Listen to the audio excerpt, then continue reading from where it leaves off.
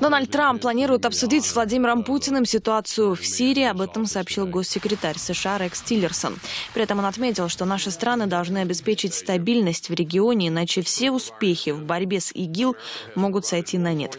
Тиллерсон также признал, что на Россию возложена особая обязанность по урегулированию сирийского кризиса. Глава Госдепа заявил, что США готовы обсудить с Россией создание совместных бесполетных зон и другие механизмы обеспечения стабильности. Тиллерсон особо отметил успех обеих стран по созданию деконфликтных зон в Сирии. В свою очередь, пресс-секретарь главы российского государства Дмитрий Песков рассказал, что встреча Владимира Путина и Дональда Трампа на саммите G20 будет полноценной, а не, что говорится, на ногах в кулуарах форума. Пресс-конференция по итогам встречи не планируется.